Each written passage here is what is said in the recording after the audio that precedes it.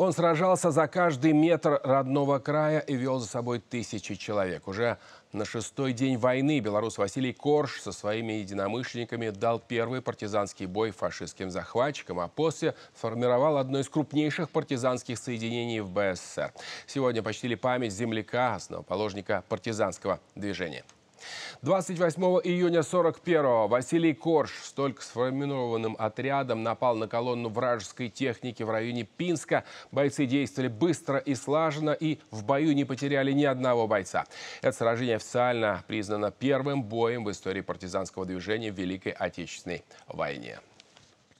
Когда пришел 41 год, у него уже был опыт партизанского движения. Этот опыт он получил еще до самой кровопролитной войны в истории. Василий Корж воевал с польской армией. В составе партизанского отряда пришлось Коржу и командовать интернациональным отрядом в Испании, громившим войска диктатора Франка. Великая Отечественная застала Василия в Пинске, где он работал в обкоме партии. Именно здесь он организовал 15-тысячное партизанское формирование. Корж ведаў гэтыя мясціны добра. Ён ведаў, дзе што можна і дзе можна людзей захаваць, таму што трэба было людзей тоже як-то спасаць Пісаць і людзей ведаў і каржа ведалі ўсе тут. Ён жа адсюль выйшаў ведалі яго сям'ю ведалі каржа што это чалавек які вельмі справядлівы. Ён мог быць строгі но ён вельмі заўсёды быў справядлівы вот ему верылі яны ішлі за ім знаете што прыказваў корж кожнаму сваю партызану ніколі ні ў кого сілай не забірайце калі вы галодныя попрасіце вам дадуць хлеб ці там што яшчэ сілай нікога не забірайце не обижайце мужика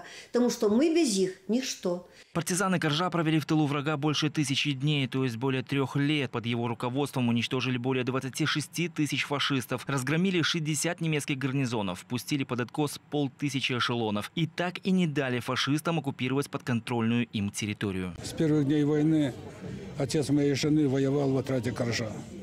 Я четко знаю, как это все было.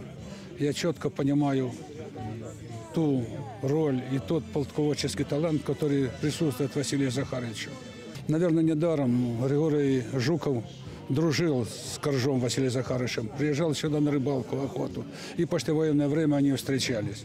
Фашисты не смогли разбить партизаны и делали все, чтобы запугать и уничтожить местное население. Страшная участь не обошла родную для Коржа деревню Хоростово. До войны здесь были сотни дворов. В 43-м в живых остались считанные жители. Я испытываю огромную гордость за то, что наши э, люди, э, мои земляки, и не только земляки, а люди, которые приехали сюда на машинах, которые мне позвонили, попытались меня найти и нашли, вот. И я очень обрадовалась этому. Я очень рада, что они помнят, что они на примере э, моего деда воспитывают молодежь.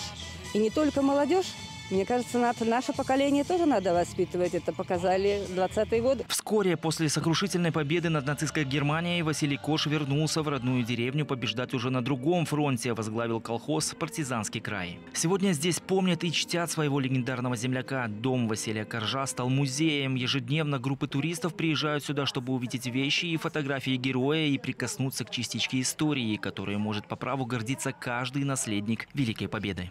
Александр Плескачев, Алексей Шаплов, Яна Белковская. Наши новости ОНТ.